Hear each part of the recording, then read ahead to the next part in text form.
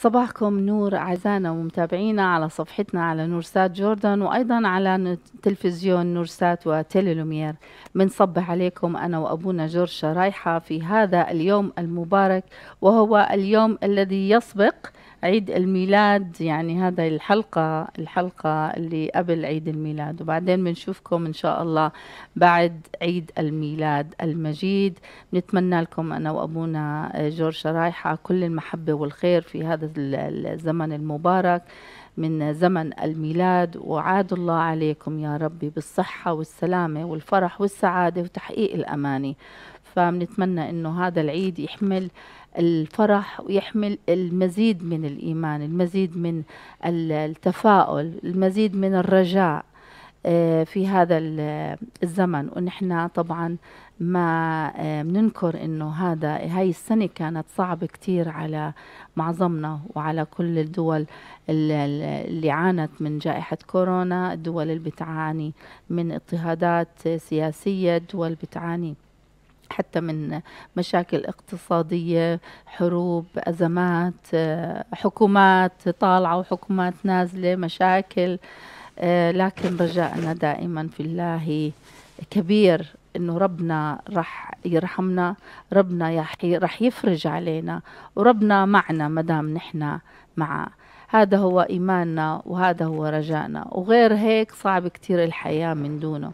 فاليوم الحلقة عن الإعجاز في التجسد الإلهي رح يكون معنا اتصالات أيضا ورح يكون كمان معنا أخبار أخرى رح نحكيها في خلال البرنامج. لكن بالبداية ناخذ البركة آه، والصلاة خاصة نبدأ فيها هذا البرنامج أو هاي الساعة اللي رح نكون فيها معاكم. ونصب عليكم نعطي البركة ومن ثم نبدأ بموضوعنا وأيضا نبلش بعدين بالمواضيع الأخرى. فصباحكم نور أبونا نبلش. نعم أعزائنا المشاهدين صباحكم نور وإن شاء الله تكون أيام ميلاديه مجيدة على الجميع. نبدأ مثل ما تفضلت الدكتورة بنبلش بصلاة بسم الآب والإبن والروح القدس الإله الواحد آمين. يتمجد ويتقدس اسمك أيها الرب الإله لتفتح قلوبنا كمغارة تلد فيها طفلا متجسدا تملأ حياتنا هذا اللاهوت العظيم. لاهوتك يا رب. منح ناسوتنا نحن البشر. يا رب نعمك الإلهية. تجسدت أنت أيها الإله العظيم بكل تواضع كي ترفعنا إلى مستواك الإلهي. قدس نفوسنا قدس أجسادنا. فرح العالم خصوصا المشردين والمتعبين. نصلي لأجل الصحة والعافية للجميع. ونعمة ربنا يسوع المسيح ومحبة الله الآب وشركة الروح القدس فلتكن مع جميعكم. آمين. نبلش. آمين. آمين يا رب. الصلاة. يا رب. آمين. آمين يا أبونا. وقبل أبونا ما ناخذ آه، اتصالنا مع أبونا معنا اتصال مع أبونا فرح حجازين وأيضا مع أبونا فادي هلسة. نعم. ونبدأ بموضوع التجسد الإلهي والإعجاز في هذا المعنى لما نقول تجسد. فتخبرنا أبونا تعطينا المقدمة عبين ما الشباب يحضروا الاتصال مع أبونا يعني فرح. بس ينحكى عن موضوع التجسد. نعم. لازم الواحد يفتح الإنجيل على يوحنا. في البدء كان الكلمة والكلمة كان عند الله. في البدء كان الكلمة والكلمة كان عند الله. نعم.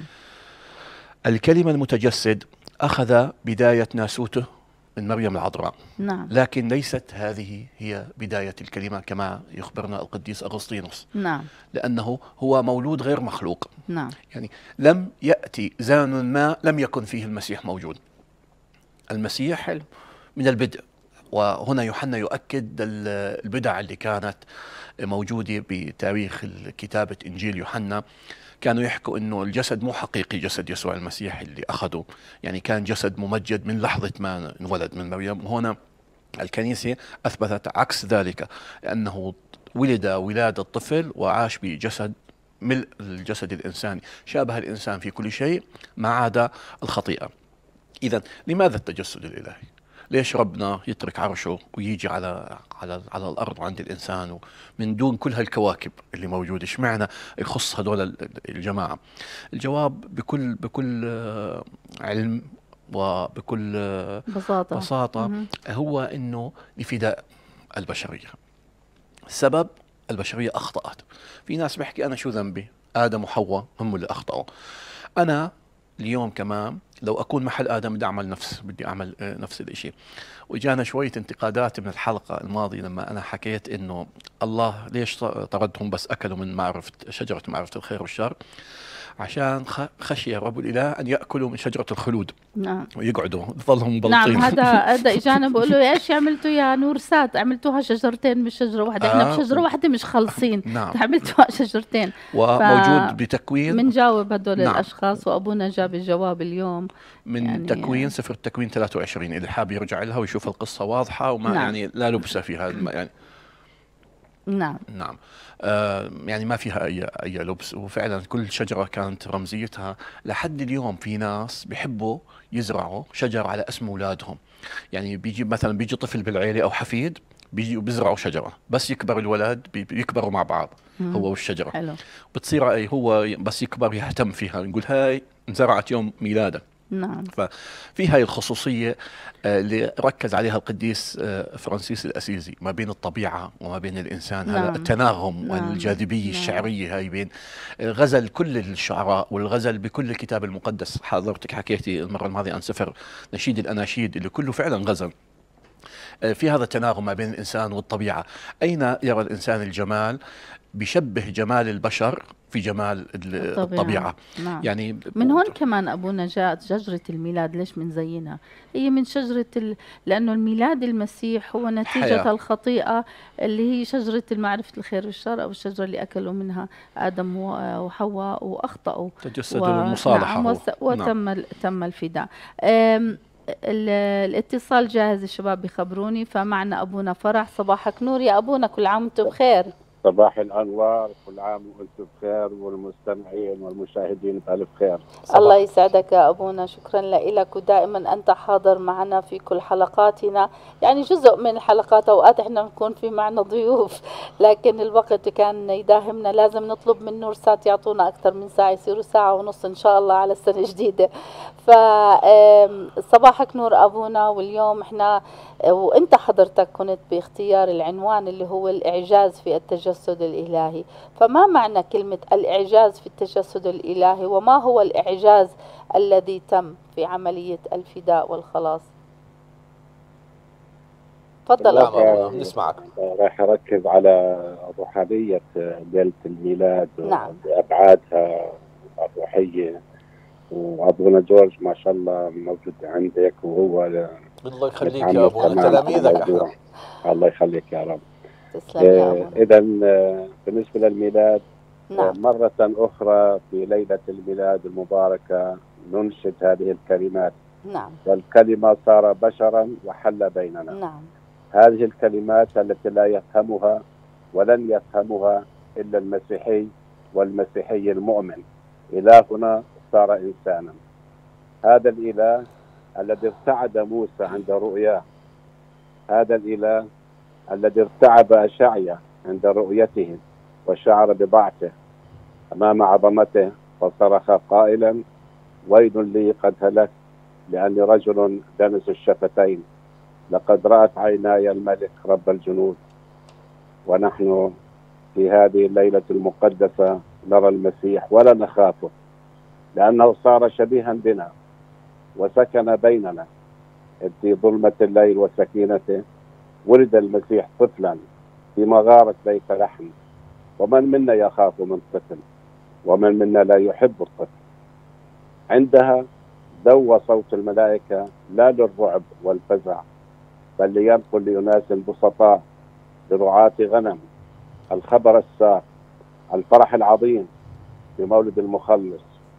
لا تخافوا قال الملاك للرعاة فأنا أبشركم بفرح عظيم.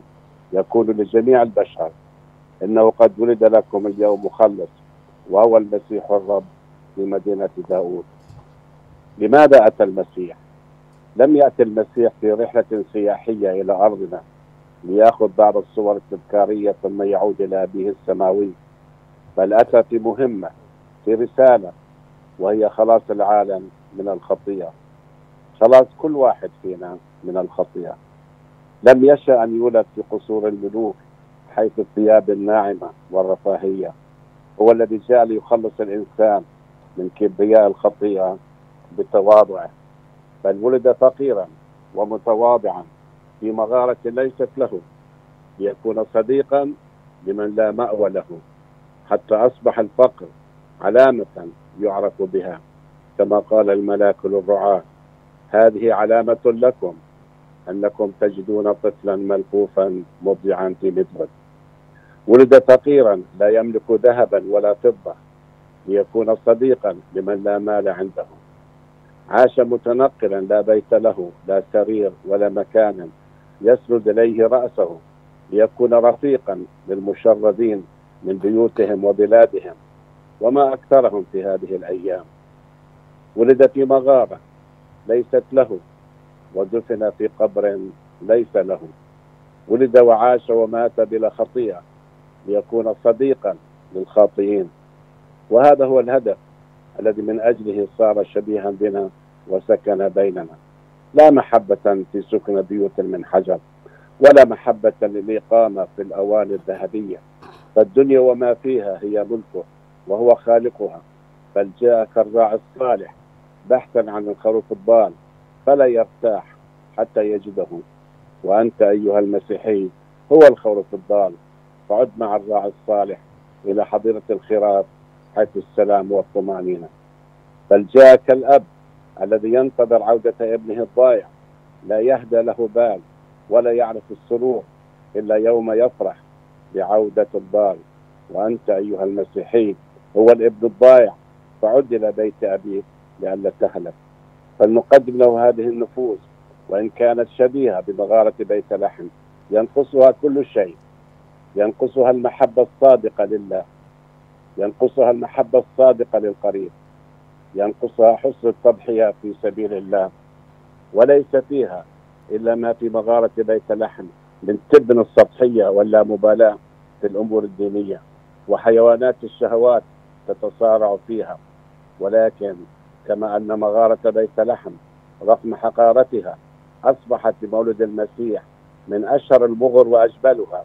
كذلك تصبح نفوسنا عندما نقبل المسيح فيها ذات قيمة تفوق كنوز الدنيا. ولكي يحرر المسيح من عبودية الخطيئة فقد دفع الثمن ودفعه غاليا من مولده حتى مماته. فلا نستهين بنفوسنا ونتقاعس عن العمل من أجل خلاصها. إنكم لم تعتقوا بالثاني من الفضة أو الذهب من صيغتكم الباطلة بل بدم كريم دم الحمل الذي لا عيب فيه ولا دنس أي دم المسيح يقول لنا القديس بطرس في رسالته الأولى. لم يحيا المسيح على الأرض إلا من أجلنا من مولده حتى مماته مع أنه لم يكن بحاجة إلينا. ونحن لنطرح على أنفسنا هذا السؤال لمن نحيا في هذه الدنيا؟ ولماذا نحيا؟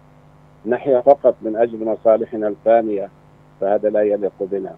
نحيا فقط من أجل أن نجمع الأموال والأملاك ونتركها لمن يأتي بعدنا فهذا أيضا لا يليق بنا. نحيا فقط من أجل عدد محدود من السنين أيام الأحزان فيها أكثر من أيام السعادة. وهذا أيضا لا يليق بنا. نحن الذين خلقنا المسيح لحياة أبدية. يجب أن نحيا للمسيح كما عاش ويعيش في الأسرار والكنيسة من أجلنا. نحن الذين بحاجة إليه فلنبحث عنه.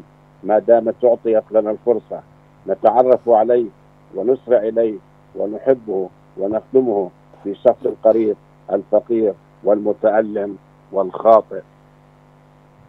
فإذا دعانا المسيح إليه كما دعا الرعاة فلنسرع إذا.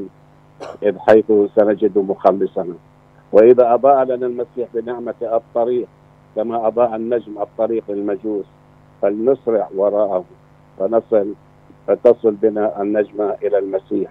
وهناك مع مريم العذراء والقديس يوسف لنجد لمن هو الطريق والحق والحياة. وكل عام والجميع بألف خير وبركة. فشكرا لك وصباحك نور. أبونا وكل عام وأنتم بخير. نتمنى لك يا ربي عيد مبارك. نعم أبدع أبونا. يعني سبحان الله كده العبارة يعني لم يأتي المسيح للسياحة على الأرض. أتى لأجل الفداء. نعم. جميل الكلمات اللي تفوه فيها أبونا نعم يعني. حلو. بيعطي بذكر الناس قبل العيد إنه في فرصة لكل واحد فينا يفتش أكثر عن يسوع ويخدمه أكثر بمحبة أكثر بهالأجواء الجميلة، حقيقة أجواء الميلاد هي يعني إذا جاز التعبير شاعرية. نعم. يعني فيها عاطفه قوية.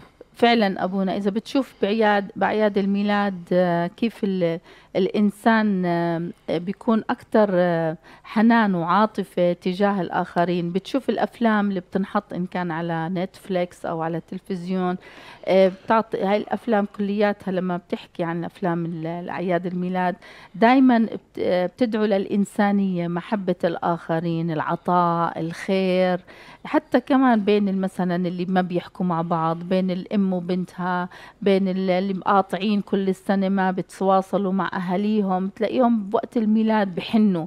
فبتلاقي بوقت الميلاد بتذكروا إنه هذا الإنسان اللي تجسد ترك كل العرش الملوكي بالسماء وإجا على الأرض. يعني بتحس إنه نزل السماء على الأرض عشان يفرجيهم جمال هالملكوت وعشان اللي يطلعنا عم معهم. عشان يطلعنا معهم. يعني آه، بمعنى آخر وإذا ال- ال- المستمعين بيسمحوا لي إني أحكي هذا الشيء بعباراتي البسيطة الخاصة.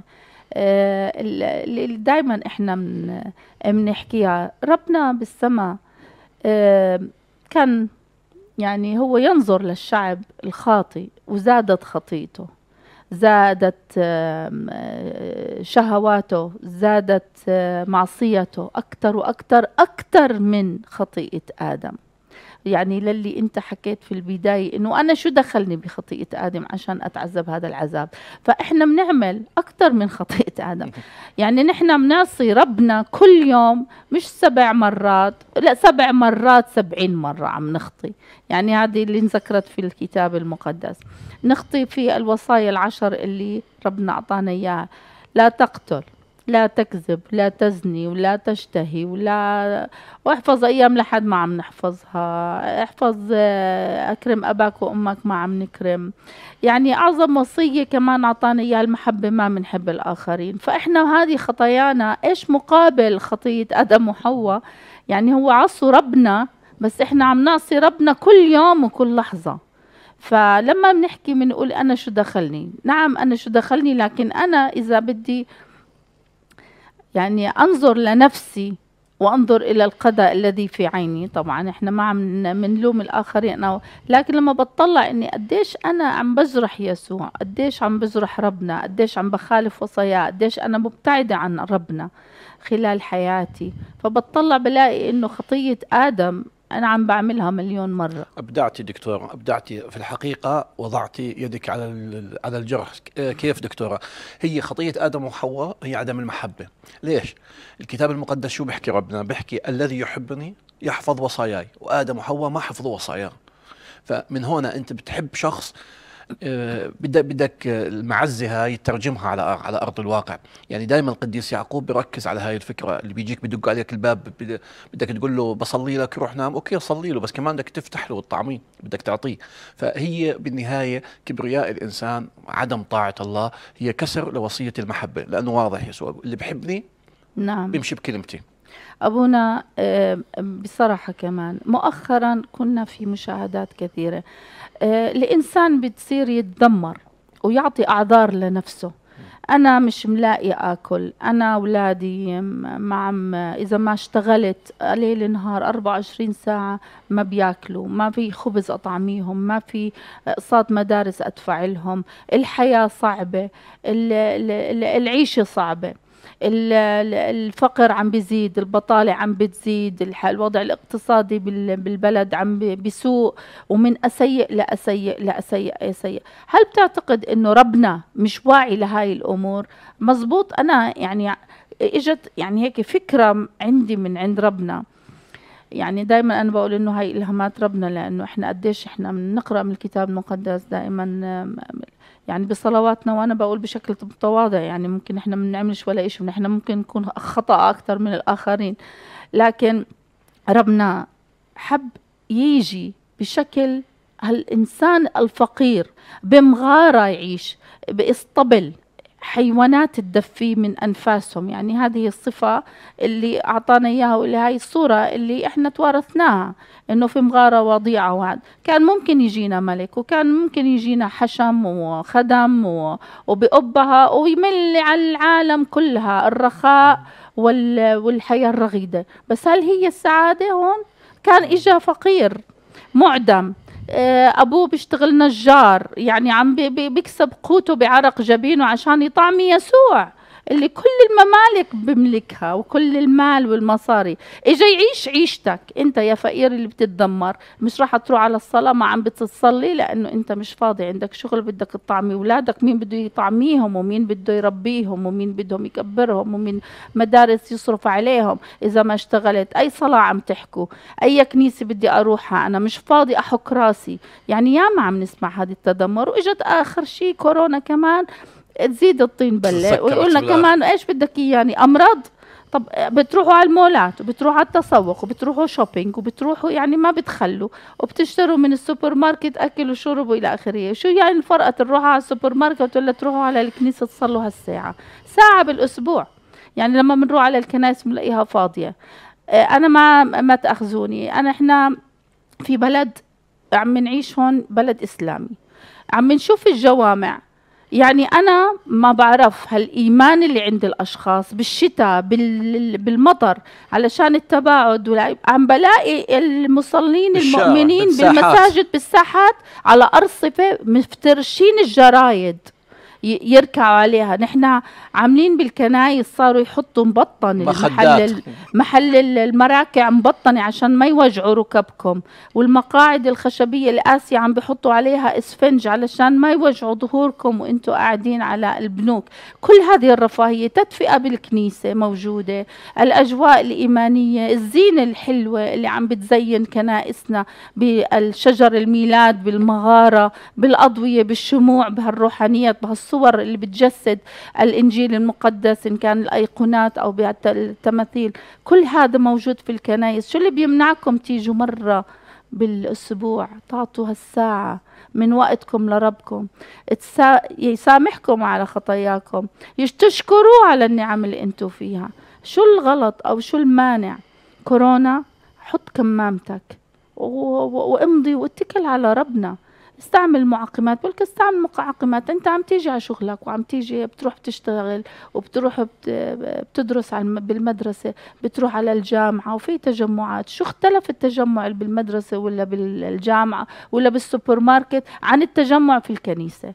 الكنائسنا فاضية وخاوية بحجة كورونا أو بحجة الوقت. إجا يسوع يتجسد كالفقير ويعاني معاناتك يا الفقير. وبالرغم من كل هيك علمك وأعطاك قال لك المحبة محبة الآخر خدمة الآخرين. اسمع كلامي. ما ما ما تتعب. أنت ربنا بدبر ثق في ربنا. ربنا بدبر ما بيتركك إذا أنت معاه. مين مين من إنسان كان مع ربنا وخسر؟ ما في. ما في تاريخ الكتاب المقدس تاريخ كله. أعطيني يا أبونا إن كان في عندك بالكتب قرأت عن إنسان كان مع ربنا وخسر في حياته. إلا إذا هو اختار زي يهوذا إلا إذا هو انتحر إلا إذا هو أما من عند ربنا يقطع الحبل ما هي التاريخ موجود. وحتى تاريخنا المعاصر كل واحد فينا أعزائي المشاهدين اللي عم بيسمعنا الآن كل واحد فيكم في له اختبار خاص مع الرب يسوع المسيح في له قصة شخصية في له مواقف سواء بسيارته هو بمشي تعرض لمشاكل بحياته الزوجية فيها يعني ما في إنسان إلا تعرض بحياته إلى هزات إلى إلى مواقف صعبة بحياته يسوع تعرض يا أبونا أكيد. تهجر كان بده يقتل راح على مصر وعاشوا في مصر ما بنعرفش العيشه اللي عاشوها في مصر كيف كان في مسار بمصر مسار اللي هو العائلة المقدسة اللي بيصح له يطلع على مصر ويمشي هذا المسار. يعني أنا بدي اروج سياحيا لمصر وأيضا عندنا هون مسارات في الأردن برضه كمان ليسوع المسيح وكمان رسالته المسيحية. فقبل ما ناخذ اتصال أبونا فادي هلا بلاش نتأخر عليه. نحن اعذروني إذا أنا انفعلت في كلامي لكن لما بروح على الكنيسة وبشوف الكنائس خاويه من المصلين في حجة كورونا وعدم التجمعات ولما بروح على المول ولا بروح على التسوق وبلاقي الناس يعني باكتظاظ هناك. فبحكي شو الفرق. بحكي يعني بتألم. آه، انت عم تشكي لي بتقول لي همك بتقول أنا معدم فقير بحاجة بعطي طب. اذهب إلى الكنيسة وارمي همك على السيد المسيح بالكنيسة. زي ما عم تحكي لي وعم تحكي للخوري وبتحكي لصاع صديقك ولا بتحكي لجارتك ولا بتحكي عم تشكي همك أو همك. اطلعي على الكنيسة اطلع على الكنيسة صلي لربنا اضوي شمعة هناك والقي همك عليه وهو رح يفرجها. ربنا ما يعني ما برد إنسان عم بيطلب منه أي طلب. يعني عم بحكي بقول الأب إذا ابنه طلب منه حاجة ولا طلب منه شغلة ما برده كيف أبانا السماوي الإله؟ كيف يردنا؟ كيف يصدنا؟ أو يعطينا عكس ما نريد؟ أشكر ربك ونشكر الله على نعمه ونشكر ربنا على هاي كمان الهدية اللي أعطانا إياها. هو ابنه نزله تيعيش حياتك. أنت يا فقير واللي عم تشكي من حياتك بشكي من وضعك. أنت إنسان مضطهد وإنسان فقير إنسان معدم إنسان مش عم تلاقي تاكل. ربنا بدبرك فناخذ الاتصال من أبونا فادي بلاش ينطر أكثر صباحك نور أبونا. صباح الورد دكتورة. الله يسعدك يا رب صباحك نور يا أبونا الحبيب. صباح الخير أبونا حبيبي هلا. الله يخلينا إياك. كل عام وأنتم بخير شكرا لك على المكالمة معنا في وجودك معنا في هذا الصباح. ونقول لك كل عام وأنتم بخير يا أبونا. وأنتم جميعا بألف خير وشكرا لكتاباتك وتأملاتك في السلسلة الجميلة المعبرة الروحية اللي بننقلها عبر صفحتنا وعبر موقعنا نورسات جوردن وأنا بتشرف أنا بتشرف بالتأكيد. شكرا لك يا أبونا. تسلم تسلم. ابونا إحنا معك وكل المستمعين على التلفزيون وعلى صفحتنا على نورسات المباشر معك يصغون إلى كلامك الروحاني فكلنا أذان صاغية. تفضل ابونا آه، أهلا وسهلا فيكم وبشرفني في هذه الأيام المباركة إني أكون معكم. ونتأمل في هالسر العظيم هالسر العظيم اللي اللي تم بحسب الرسول بولس عظيم هو سر التقوى. الله ظهر في الجسد. آه، قد آه، تكون آه، معجزة معجزة الميلاد معجزة لا يعبر عنها. وخرقت كل نواميس الطبيعة. بنشوف إحنا بنردد آية في من سفر أشعياء 7 14 هل عذراء تحبل وتلد؟ ابنا يدعى اسمه عمانوئيل. آه، فسره القديس متى؟ الله معنا. آه، بنقرأ هذه الآية دون التأمل في مضمونها العظيم اللي يصعب تصديقه. آه، هل عذراء تحبل وتلد؟ الواو هون باللغة واو العطف بمعنى. العذراء تحبل والعذراء تلد. هذا أمر خارق لم يتم. ما سمعت فيه البشرية. عذراء غير مرتبطة برجل تحبل وتلد. هنا كلمة الله الأزلي غير المحصور الموجود مع الآب والروح القدس منذ الأزل وأزل الأزل. لما حان ملء الزمان أخذ من دماء العذراء الطاهرة جسد وحل بيننا المخلص المخلص في تأنسه بحسب القديس أثناسيوس الإسكندري وهو أفضل الآباء اللي كتبوا عن سر التجسد. آه، المخلص بتأنسه تمم عمليتين. العملية الأولى هي المحبة برفع الموت عنا. حكم الموت حكم أزلي. طرد آدم من الفردوس انفصل عن الله فكان هذا هو الموت الروحي. لكن بتأنس المخلص رفع عنا حكم الموت بمعنى الموت الروحي الانفصال عن الله وأعادنا في اتحاد كامل آه، آه، مع الله بمحبته لنا اللي فاقت الوصف. ثانيا جدد جددنا بإعلان نفسه وإعلان بشريته الكاملة بأنه شابهنا في كل شيء ما عدا الخطيئة.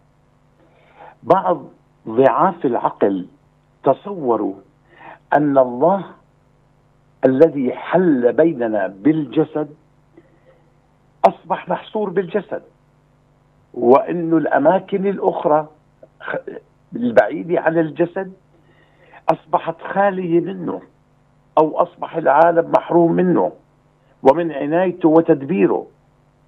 لكنه ما يدعو إلى الغرابة أنه وهو الكلمة. الذي وإن حواه الجسد فهو يحوي كل الأشياء.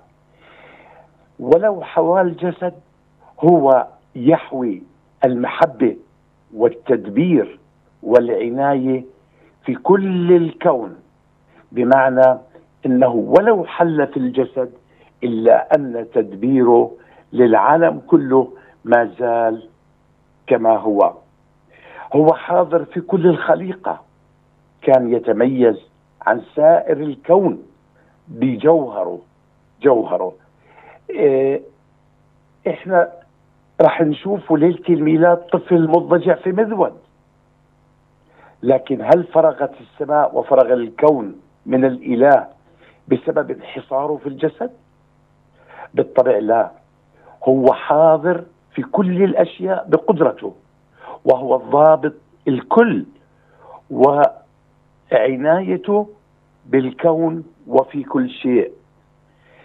هو ولو انحصر في الجسد هو واهب الحياة لكل شيء ولكل الأشياء هو يملأ الكل دون أن يحد سجن الجسد. تجسد هو وصار مثلنا وشبهنا في كل شيء. ما عدا الخطية. تجسد هو لكي يدخلنا معه إلى النور الإلهي غير المخلوق. هذا النور اللي حرمنا منه بتعدي آدم وطرده من الفردوس فنصبح هكذا متألهين أي نشترك مع الله في النور الإلهي. هذه معجزة عظمى بحد ذاتها إنه إحنا المزدرى غير الموجود. الترابيين نصبح مشاركين مشاركين للإلهيات ومشاركين في النور الإلهي. آمين يا أبونا. كلام جميل. آه آه أظهر نفسه في جسد حتى يعطينا فكرة عن الآب المنظور. اليهود عبدوا إله ما بيعرفوه ولا بيعرفوا صفاته. لكنه بولادته بالجسد. أعلن لنا صفات الآب غير المنظور وأعلن لنا صفات الروح القدس. إحنا ولو بنشوفه في المغارة طفل هون نعم. نقطة مهمة. لو بنشوفه في المغارة طفل إلا إنه بغير انفصال موجود في ذات الوقت في السماء مع الآب ومع الروح القدس. احتمل من البشريه الإهانة منذ ولادته. نعم. وكان يستطيع أن يفنيهم. كان يستطيع أن يفني هيرودس اللي حاول قتله إلا إنه وهو الإله الخالي من كل فساد والخالي من كل ألم. نرى المسيح الطفل الذي يغتدي من العذراء لبنا. وهو المعطي كل حي طعامه في حينه. هو هذا الطفل قد أبطل الموت وأخزى الشيطان وحلت النعمة بدل اللعنة وأباد الحزن ومنح الخليقة القيامة. هذا الطفل قد خلص آدم وأعاد خلقة حواء.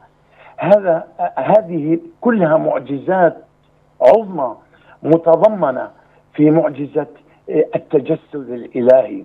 الله صار في الجسد.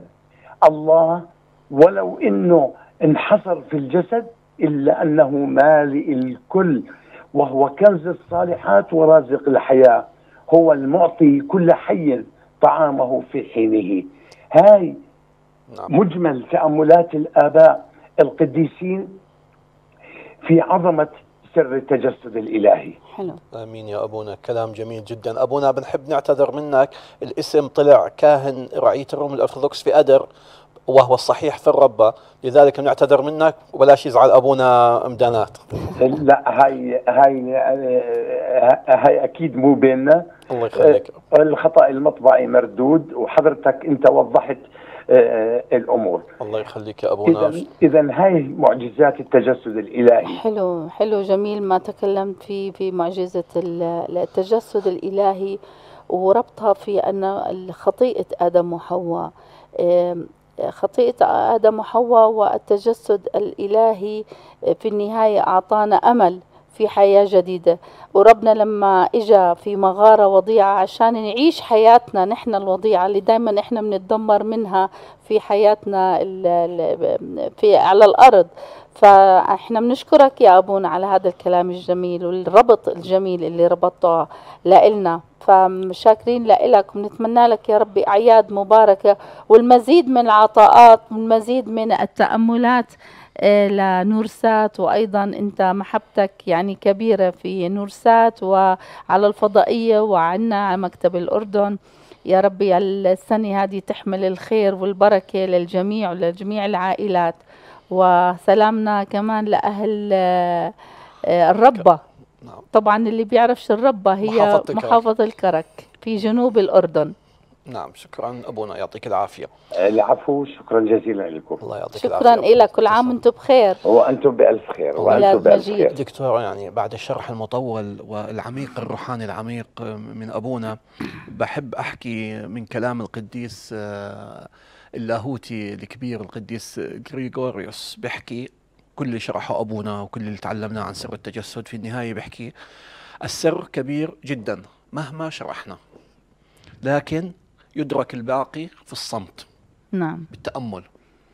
الله يكشف عن ذاته اللي بيكون على علاقة معه طويلة. بس بالبداية أنت لا تستطيع الإنسان أن يكشف سر الله. نعم. إحنا بنقول سر التجسد الإلهي. بمعنى بمعنى إنه هاي هي علامات حسية الأسرار هي كلياتها هي علامات حسية للأشياء اللا حسية اللي ما بنقدر ما بنقدر إحنا نتذوق اليوم ونتحد مع يسوع المسيح بدمه وجسده بذبيحه الصليب اللي صارت وبالفداء وعمله كله. ولكن في القداس نعيد.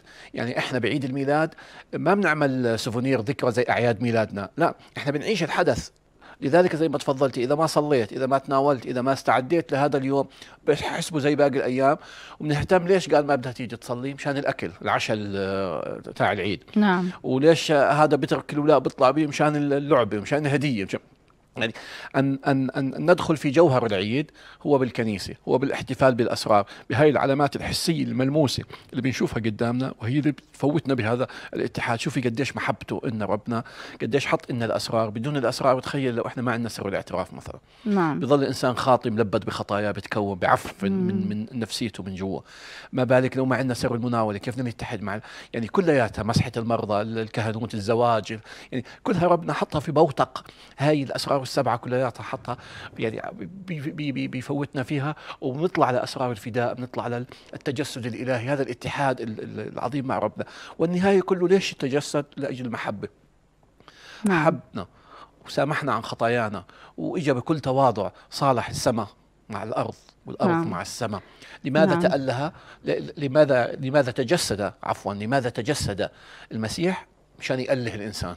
نعم يرجعوا لصفته لأنه مع خطيئة آدم وحواء فقد الإنسان الصفة الإلهية اللي كان معطيها آدم ربنا لآدم. يعني هو آدم عندما عمل الخطيئة وسقط فيها وربنا حكم عليه في الموت والموت يعني الموت الجسدي والموت الأدبي والموت الروحي. فبولادة يسوع المسيح نحن أعاد لنا الحياة روحيا لكن بقيت عنا الموت الجسدي.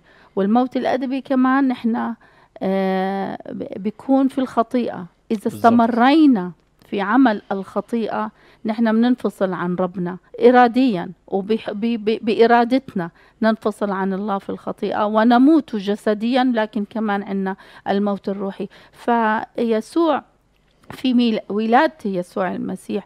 أعاد ربنا الموت الروحي وأحيانا ليعطينا كمان. نحن في النعمة الصفة الإلهية اللي وصفنا فيها يسوع عندما خلقنا. لأنه نحن في خطيئة آدم وحواء. نحن فقدنا صفتنا نكون على مثال الله. يعني لما ربنا أعطانا أن نكون على صورته ومثاله اللي هي الخالية من الخطيئة ومتى سقطنا فقدنا هذه الصورة. فكيف يعيد لنا الصورة من جديد؟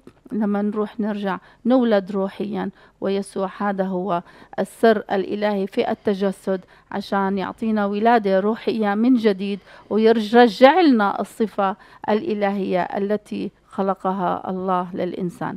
فأبونا إحنا بالنسبة لموضوعنا معجزة التجسد الإلهي. قد ما حكينا الإنسان نفسه إذا ما حط حاله يقرأ في الإنجيل المقدس آه، حادثة ميلاد يسوع المسيح ويصر إنه يلاقي شيء جديد ما بيعرفه كان. إحنا كل مرة بنقرأ الإنجيل زي المرة الماضية لما يسوع لما أبونا جورج حكى إنه ربنا عنده شجرتين فجابها من سفر التكوين وفي نص كامل إنه في شجرتين فجر شجرة معرفة الخير والشر وشجرة خلود. الخلود. فإذا ما قرأنا كل ما أو الحياة بنقرأ بيسموها بالعبرانية الحياة. شجرة الحياة. كل ما قرأنا كل ما بنستزيد كل ما بنعرف أكثر كل ما بزيد إيماننا. آه، هذا هذا العام وهذا العيد. نحن بدنا نطلع من هذا البرنامج. نقول إنه نحن حضرنا برنامج صباحكم نور. مع باسمة سمعان وأبونا جورج شرايحة. وأنا قررت بهذا العيد إني أطلع أصلي. ما راح راح أترك الأكل وراح أترك الشوبينج وراح أترك المشتريات وكل الالتزامات تبعت العيد. وأروح اكرس ساعه أروح على الصلاة. فيها التسعويات آه، الساعة ستة أو الساعة سبعة شوف كل كنيسة قديش أي ساعة التسعويات اللي هي تحضير ليوم الميلاد. ويوم الميلاد بيجي أصلا ليلة العيد بتيجي يوم جمعة يوم العيد يوم السبت عطلة. فكلكم رجاء تروحوا تصلوا وراح تشوفوا كيف تتغير حياتكم. نحن في هذا العيد يعني نورسات مكتب الأردن يعني هلأ آه، نرجع من نحيي آه، نشاطاتنا ونتكلم قليلا على آه، مكتبنا معنا تقريبا عشر دقائق نحن لازلنا مستمرين طبعا في عطائنا في مكتب الأردن. نورسات في لبنان بتعمل التليثون كل أسبوع أو كل يوم وعم تجمع تبرعات. الوضع الاقتصادي تعبان لكن نحن إيماننا ثابت في ربنا إنه ربنا ما رح يتركنا لأنه هذه رسالة الإعلام رسالة نورسات رسالة المحبة والسلام والتلاقي رسالة من عند ربنا. وإذا كانت هاي الرسالة مش من عند ربنا خلينا نسكر ونروح. لكن أنا مؤمنة إنه 32 سنة هالفضائية مفتوحة وواقفه على قدميها بالرغم من كل ال ال ال ال ال ال الأزمات اللي مرت فيها. من كل حتى التفجير أو خاصة التفجير الأخير اللي صار باستوديوهاتها. لكن ستقف من جديد نورسات لأنها رسالة ربنا على الأرض أيضا من خلال الإعلام من خلال التكنولوجيا الحديثة لأنها بتنشر كلمة ربنا. فما بعتقد أنه ربنا رح يتركها هذه المحطة. طبعا بوجود أناس وأيدي بيضاء قادرة إنها تساعد. وأكثر ما أثر فيي. نحن في الأردن عملنا يا نصيب. وهذا يا نصيب البطاقة بدينار. يعني كل إنسان بيقدر بالكنيسة توزعت البطاقات والدفاتر في الكنايس. واقفة أنا في كنيسة في يوم الأحد بجانب آه، الأبونا وجاءت امرأة بسيطة. وعرفت بساطتها يعني ما تأخذوني من لباسها ومن من وضعها العام. قدمت هالدينار تشتري بطاقة يا نصيب. وكانوا يعني اتخجلت منها. قلت لها لا معلش قالت لي ليش تحرميني العطاء؟ أنا من قلبي عم بعطي هذا الدينار بدي أشتري بطاقة. خجلت منها. وتضايقت إنه أنا هيك تصرفت. لكن تذكرت وقتها فلس الأرملة. عن جد عشت فلس الأرملة. ولما ربنا والجميع طلعوا إنه هذه بدها تعطي هالدينار من كيسها يعني إشي بسيط بدها تشتري لا ضبه لإلها تعطيه لأولادها لسه أولى يعني نورسات ممكن حدا تاني يساعدها.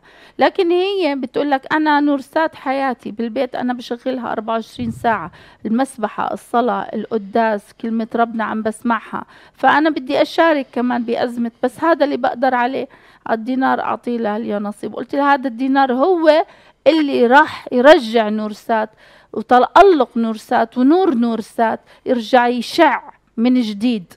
لأنه من هذا الدينار من هذه المرأة اللي بحس, وبحكي عنها إنها هي غنية. غنية أغنى من أغنياء العالم في روحها وإيمانها. وهذا الدينار اللي يعطي بركة لنورسات ويعطي بركة لتبرعات نورسات طبعا إحنا ما رح نحكي. يا نصيب رح يضل موجود متواجد في كنايسنا على أبواب الكنايس. اسألوا الكاهن عن اليا نصيب إذا بتقدروا تساعدوا.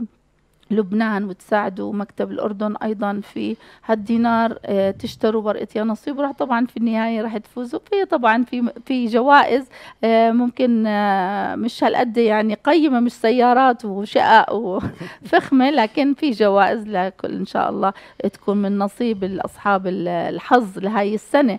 يعني ف نحط هالدينار وما نبخل لنرسات فيه. تا ربنا يخلي هالمسيرة تستمر وهاي الرسالة تستمر. ومثل ما بتشوفوا كمان في على الكاونتر هون إحنا عاملين آه، مشروع سلتي وكان هذا من ضمن مشاريع اللي سويناها خلال كورونا اللي هو السوق الافتراضي. عملنا بازار لكن كمان الأشخاص اللي ما قدروا كمان إنهم يجوا على البازار عشان خوفا من كورونا والاكتظاظ. عاملين مشروع سلتي ولازلنا في هذا المشروع اللي بحب يوصي خاصة من بلاد برا اللي حابب إنه مش قادر يجي على الأردن أو يجي يزور آه، عائلته إنه يهديه هدية. نحن عندنا في كمان توصيل للي بحب يوصل هدية لعائلته لأحبابه لأصدقائه. التواصل عبر صفحتنا وفي عندنا صفحة آه، باسم بازار الرحمة. وهو كمان رحمة للأشخاص اللي عم بيشتغلوا هاي المنتجات مثل البسكوت والكعك والشوكولاتة والكيك كريسماس كيك فيها والسلة ملفوفة بشكل مناسب وطليق في أحبابكم وفي آه، أصدقائكم اللي حابين تهدوا آه، أصدقائكم فيها.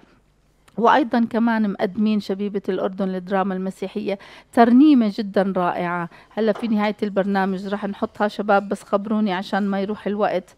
آه لنضع الترنيمة الجميلة ل آه، من أداء آه، المرنمة هلا شحاتيت. وأيضا كان من إخراج جوني جبرة. وشبيبة الأردن للدراما المسيحية وأصدقاء النورسات وهي الشبيبة اللي دائما يعني أنا بقول ذراع مساعد ومحب لنورسات لأصدقاء النورسات في عملها. فوعدونا الشباب إنه يعطونا ترنيمة مونتاج فيديو كليب كل شهر إن شاء الله وحسب المناسبات. فهذه من ألحان وكلمات الشبيبة وأيضا إخراجهم وممكن يكون بشكل بسيط لكن تم التصوير في آه، أحد في بعض الأماكن في الأردن اللي فيها الأسواق الميلادية في الفحيص في جبل عمان في البازارات المقامة والأطفال اللي قاموا في الترنيم كمان هم أطفالنا أولادنا وبناتنا آه، من العائلات الكريمة اللي ساهمت في هذا الإنتاج. نعم. فشكرا نعم. وإلهم ويعطيهم العافية على هذا الإنتاج. الآن سنعرض هذا الفيديو كليب. يعني نعم. وهلا طبعا إحنا بدنا نحيي كل الاشخاص الموجودين معنا اليوم على صفحتنا على النورسات بنصبح على الأشخاص اللي عم بيشوفونا من أفريقيا. يعني اليوم لا على غير العادة اخوري من أفريقيا. عم بيصبح علينا وعم بيشاهدنا. آه، لقيت اسمه موجود بقول لي أنا من كنيسة إفريقيا. كل الأشخاص اللي على البث المباشر صباحكم نور فردا فردا. ما مش قادرة أحكي للكل مين اللي هو أبونا اسمه بول أو قسيس أو بول ملوك ول وهو من آه، آه، كنيسة في أفريقيا. آه، السودان سوري. أو السودان ما هي أفريقيا. صباح الخير أبونا أنا من جنوب السودان. أهلا وسهلا. فيك. بالأراضي المقدسة صباحكم نور للمشاهدين جميعا. اللي بأمريكا أيضا وبأستراليا كمان سهرانين يسمعونا صباحكم نور جميعا. صباحكم نور للأشخاص اللي آه، على التلفزيون كمان اللي بيشاهدونا على التلفزيون على البث المباشر وعلى صفحتنا نورسات جوردان ام عادل النمري والسلمان آه وأيضا آه البشارة مسلم الأراضي المقدسة بشارة نحن ناطرينك. هذا الأسبوع لنقل قداس من بيت لحم. بشارة مسلم كمان هو مراسلنا مع مرلين الحدوى بيساعدوا بعض في التصوير بشارة بالفنيات. ينقلوا لنا بث مباشر من بيت لحم من كنائس بيت لحم لأداديس بشكل مباشر من الأراضي المقدسة. شكرا يا بشارة على محبتك وعلى عطائك كمان وخدمتك آه، للنور طبعا هو عم عم بيقدم هذا الشيء تبرع منه. في هذا العطاء. ربنا يباركك بكل عملك. ربنا يبارك الجميع. نتمنى يا رب أعياد مباركة للجميع في هذا العيد المبارك يا أبونا صار لنا كمان إحنا مرت هالسنة علينا أنا وياك في هذا البرنامج صباحكم نور. كل يوم ثلاثاء من الساعة 9 للعشرة ف يعني هذه مسيرة هذا إعجاز وإنجاز في إيجاز عن جد هذه مسيرة. قديش يعني آه، عاصرنا وقديش مشينا مع الناس. ومناسبات وهلأ إحنا جايين على الميلاد وإن شاء الله تغطيات أخرى في الميلاد. ثلاث أيام. ان شاء الله إنه ما نكون قصرنا هاي السنة في تغطياتنا من نورسات الأردن أخبار الكنيسة في الأردن كل العائلات الكنسية. وأيضا مستمرين معاكم في تغطيات آه، الميلاد بأداديس الميلاد من كل مكان رح نكون من كل الكنائس. إن شاء الله رح ننقلها. وأيضا كمان في عنا بعد الميلاد راس السنة ومن ثم الغطاس واحتفالية الوحدة. آه، لا بعدين بنبلش بالزمن الفصح. فهذه كمان رزنامتنا نحن في نورسات الأردن. بحيي كل العاملين في نورسات من فنيين مصورين من تير آه، محررين من نشرة الأخبار من القائمين عليها. ريبيكا عودة ونشرة الأخبار الإنجليزي آه، زيد عودة وأيضا شيرين لطفي. فمنحييهم جميعا آه، منار عماري اللي بيجي بيحضر كمان يوم الثلاثاء اللي بيصور الأداديس مريمون حتر آه، خلدون هلسة ورند المدني وسناء اللوح وأيضا آه، ميشيل رزق وأنس الصقة ومحمد وشاح ومين كمان أبونا؟ نذكر كمان فيصل الداوود ونعمان القزعة وأيضا معنا إيهاب عماري. و شباب ذكروني مين كمان؟ كمان رند. رند المدني حكينا فكل الأشخاص وكل أصدقاء النورسات شبيبة الأردن الدراما المسيحية بنشكرهم كلهم دولك أكثر على واحد واحد لا لا شبيبة الأردن آه، بتحضيرهم للبازار. أبونا أنا كمان شاكرة لك أبونا جورج يعني التزامك معنا محبتك على الموقع الإلكتروني كمان نورسات آه، جو dot org أيضا كمان بإشرافه وإشراف صبايا من من مختلف الكنايس من مصر كمان عم بيساعدونا. آه لبنان شكرا لكل العاملين في الطاقم العامل في لبنان اللي بنقل خاصة برنامج صباحكم نور من الأردن وأيضا البث المباشر من برنامج عين على المشرق اللي بيعمله أبونا نبيل حداد. وأيضا آه، آه، مين؟ فادي رزق آه فادي رزق فادي. برنامج التغيير فعلا برنامج آخر وإن شاء الله بالمزيد قادم إن شاء الله في السنة الجديدة. صباحكم نور آه، كل عام وأنتم بخير. ولد المسيح هللويا هذه الحلقة قبل عيد الميلاد. راح راح نحكي الآن نبث الفيديو الكليب الجديد اللي هذا أول ظهور له آه اللي هو في عنوانه ميلاد مجيد. نعم. آه شباب جاهزين؟ ترتيلة بعنوان نجمة في السماء. من إنتاج وإنتاج نورسات وطبعا وإشراف شبيبة الأردن الدرام المسيحي. هن هن اللي أشرفوا على وقاموا في هذا العمل. آه، استمتعوا إن شاء الله بتلاقي استمتاعكم فيها لهذه الترنيمة بتعطونا آرائكم لاحقا. وأعطينا البركة أبونا وننطلق في سلام المسيح. نعمة ربنا يسوع المسيح ومحبة الله الآب وشركة الروح القدس تكن مع جميعكم. اذهبوا بسلام المسيح. آمين. ولد المسيح. هللويا. فمجدوه. فمجدوه.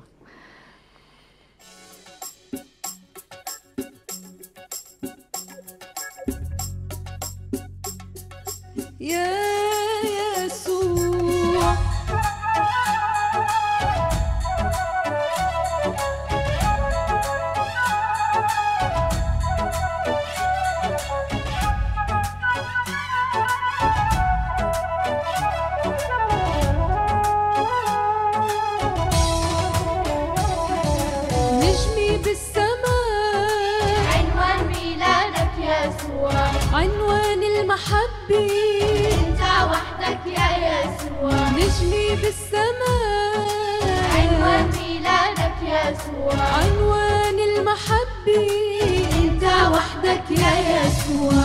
من ولد بمغارة صغيرة أنت وحدك يا يسوع. من كان من عيلة فقيرة أنت أنت يا يسوع. مين ولد بمغارة أنت صغيرة وحدك يا يسوع. من كان من عيلة فقيرة أنت أنت يا يسوع. يا يا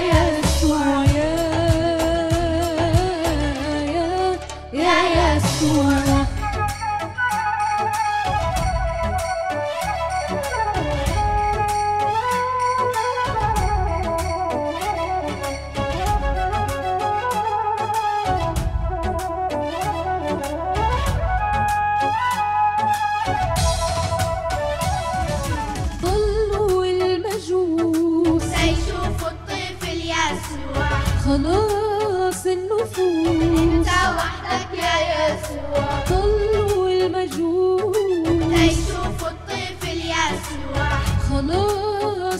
خلاص